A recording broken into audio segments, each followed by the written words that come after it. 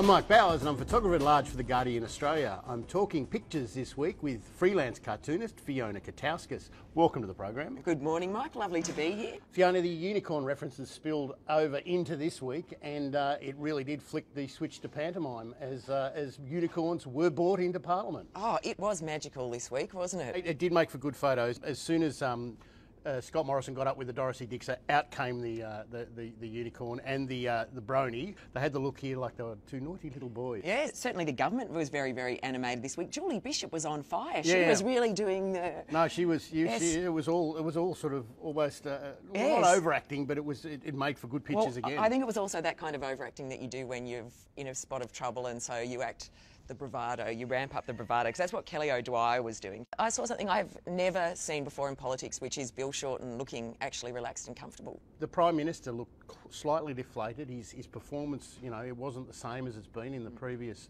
weeks. No, no, I think there has been a better time to be Malcolm Turnbull, Yeah. and that was not this week. No, not this week exactly. Fiona, um, uh, the Prime Minister shuts his eyes more than any other leader uh, we've shot in, in, the, in many years. Uh, now we're embracing it because he does it so much, and we're just sending the closed eyes pictures Yeah. because it's part of him. Well, it's a double wink. It He's is a doing double wink. He's doing a once. double He's wink. Well, twice Tony- as good as Tony Abbott. Tony used to do the one wink, and he does the double wink. Or So maybe he's just trying to find a happy place. does this mean he's a bigger winker than Tony?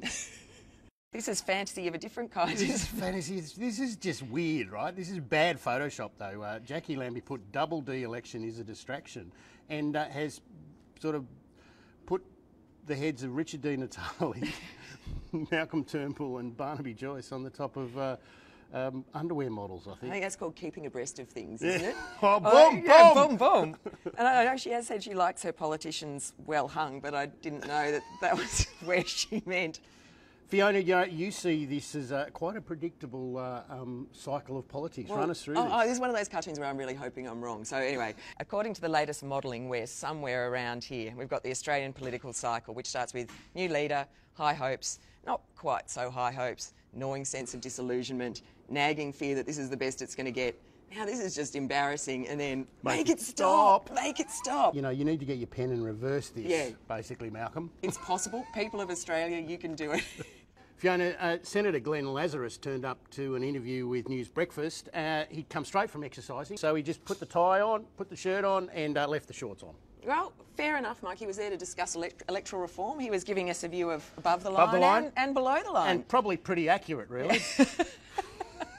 it's all business below the line, yeah, right? bit of independence underneath. Look, it's been a great pleasure unpicking the events of the week, and uh, would you like to do the honours? Oh, look, Mike, I'll let you do the honours this week. I- I, I always get a turn. I never get to do it. Well, in the spirit of Lazarus, I've got to say, back to you, Barrie.